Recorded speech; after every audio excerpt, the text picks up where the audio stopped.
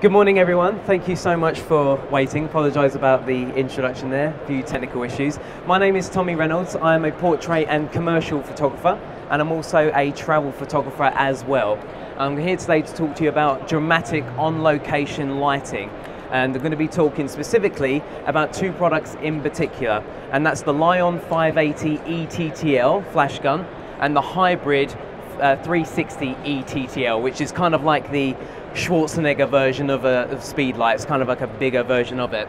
Uh, the reason why I want to talk to you specifically about these two is because these both these products are both portable and light uh, and light and reliable and it's really important for me in my line of work and to give you a bit of background of, uh, of what I actually shoot so I do a lot of commercial work with Sony uh, with Syco Entertainment with Universal Music so I do a lot of work working with uh, bands and artists and musicians on location so for me, I need portable and reliable gear, and that's why I use the 580 ETTL or the hybrid. In conjunction with that, I also use the QuickBox Pixapro uh, 70 centimeter collapsible softbox. So this is the exact gear that I will use on location when I'm shooting uh, clients, and, and that's whether that's abroad, uh, whether that's just down the road. So the reason why I love this little flash gun and what's great about it is this actually runs on a lithium rechargeable battery which won best uh, flash gun of the year last year. We're actually picking up our award later on for this flash gun.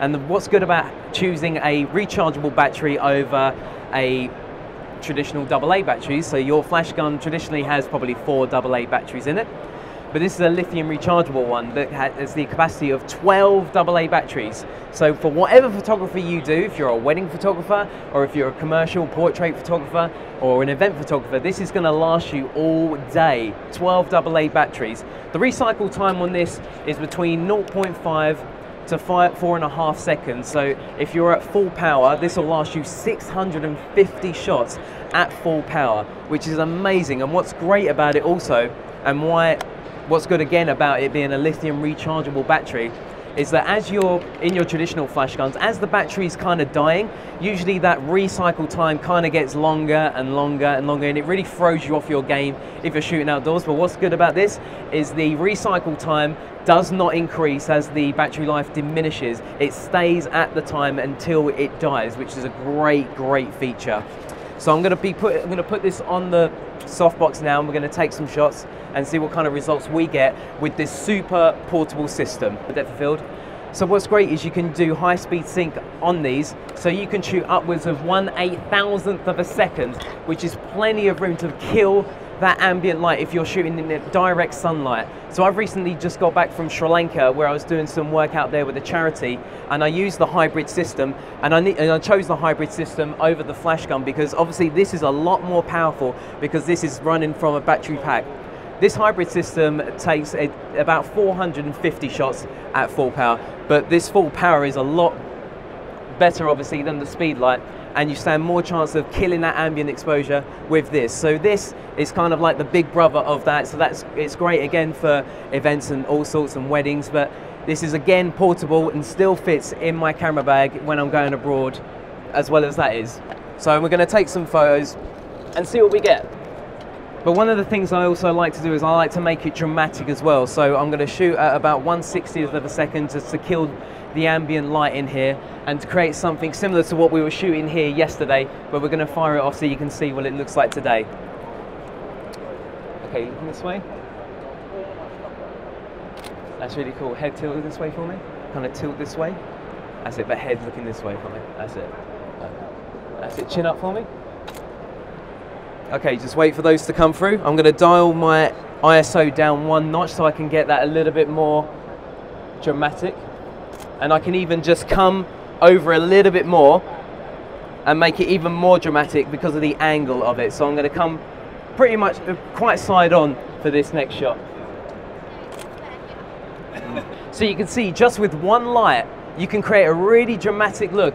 And if uh, combined with our Pixapro backdrop here, if you're an event photographer or if you do headshots, you can walk into any corporate business and create this really cool, dramatic, professional looking setup with only one light. And with my sh shutter speed set to 160, I'm killing this ambient in the room and pretty much lighting with only just my with my flash gun.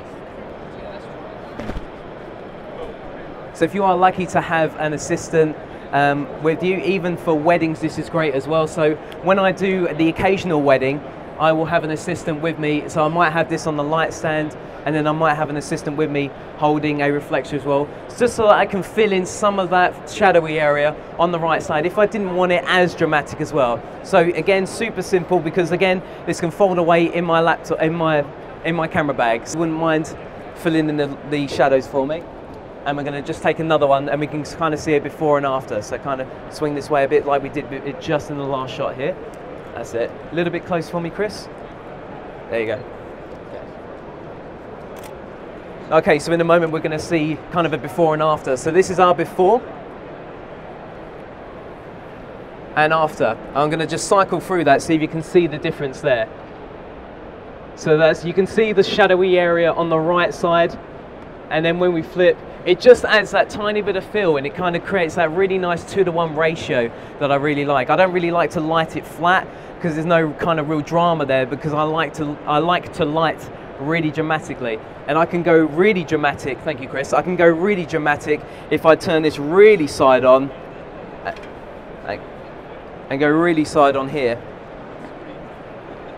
Turn head more this way for me. That's it. That's it. Kind of looking towards the light for me. That's it. Chin up for me. Okay, so in a moment, we've gone from like a uh, still dramatic but kind of nice soft, and we go for a real dramatic look.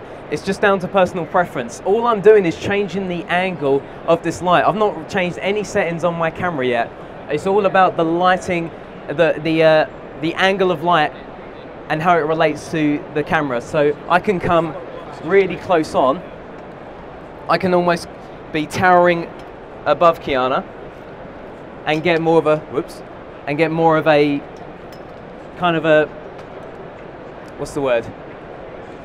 Kind of it just fills in the fills in the face a little bit more and makes it it's this is good for this is good for weddings. So if you want to do like a bit of a close up so one other thing that's also really popular when you're doing weddings is clamshell lighting.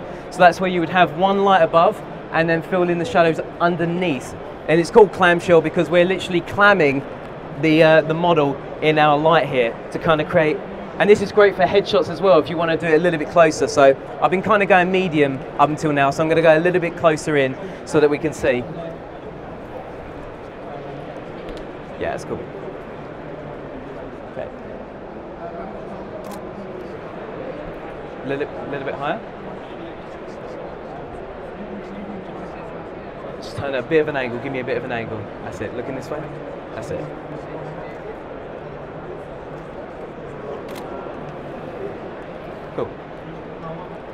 Again, just one light and you're getting a really cool dramatic, almost like a cinematic effect, isn't it?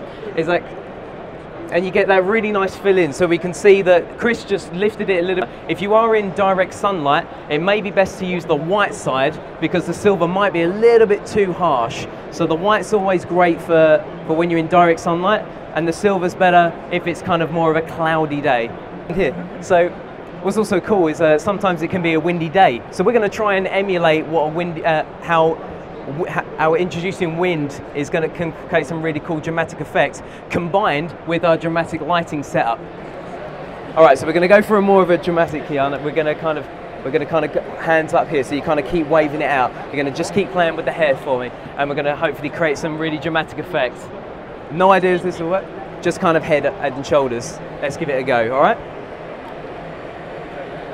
That's cool. That's it. Just keep playing around like that. We're just going to keep firing. With this sort of thing, it's kind of, you just keep firing until you get something that kind of works well. That's it. Really, really nice.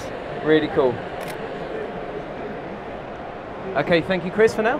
Right, let's just have a look at those. It's going to be a hit and miss with this sort of thing, but this combined with our, uh, but this combined with our dramatic lighting setup, we can create some really cool effects. But let's try that one more time. Let's have one more round and I'm going to angle the light a little bit more so that we uh, make this even more dramatic. Again, I'm only lighting this with just one light and this is my go-to because it's so simple, portable, I can move it around whenever I need to. All right.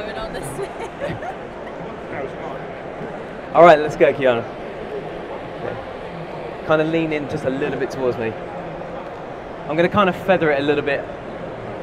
Okay, that's it, cool. Just every time you hear the sha, just way to just fidget uh, up every time. Just kind of give me something different every time.